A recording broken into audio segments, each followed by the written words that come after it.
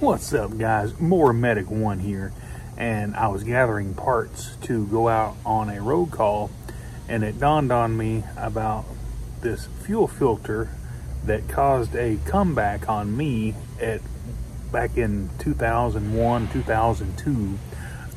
Excuse me, I was working on a Toro Laser Z that came in the shop, and I noticed that all of the filters and such had been replaced and I noticed that the fuel filter was installed backwards.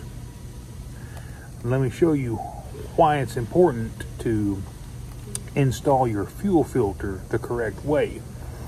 Um, the customer declined a new fuel filter. He stated that all he was going to do, or all he wanted us to do, was turn the fuel filter around. Can't do that. Once it's been installed, once dirt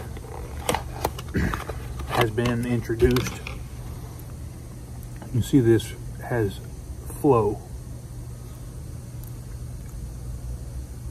This is the way that the gas flows through the filter.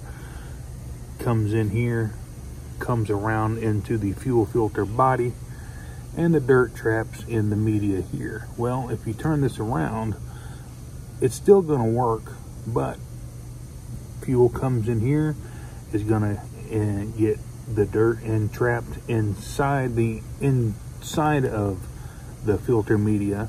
So guess what happens whenever you just turn it around? Gas comes in here, it's gonna flush all that dirt right down into the carburetor. That's exactly what happened. And uh, was that a comeback for the mechanic? Nah. Could we prove it? Nah. All we can do is eat it, fix it.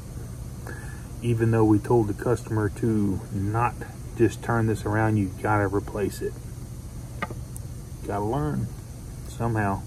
And the only way that some of these customers are gonna learn is if you charge them. But we had just done the tune up on it or the customer had done the general service, we rebuilt the carburetor.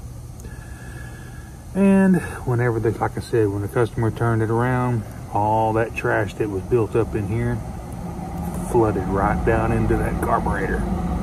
Not good. Have a good day. Mower Medic One.